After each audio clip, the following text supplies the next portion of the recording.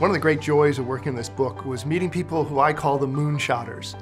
Those who are committing to enormously bold action, but not having all the answers or all the solutions. Saying, we've got to get going and we'll figure it out along the way or we'll never start. So what's an example? Søren Skou of Maersk Shipping commits $2 billion to green ships and doesn't know where all the fuel is going to come from, the methanol.